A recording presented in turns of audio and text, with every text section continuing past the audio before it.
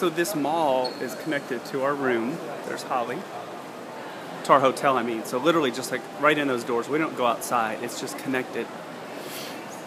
And there's a courtyard. It's about to rain. There's a little courtyard out here. People go. And there's just a whole mall area. And what's cool is the whole mall. Look at the ceiling. It's all glass. So I guess because you know the weather here, but it makes you feel like you're outside.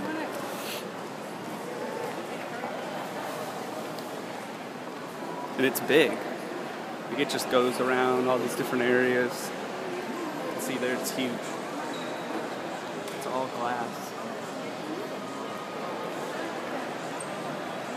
This huge building right here is called the Pru Tower. The top is an observation deck.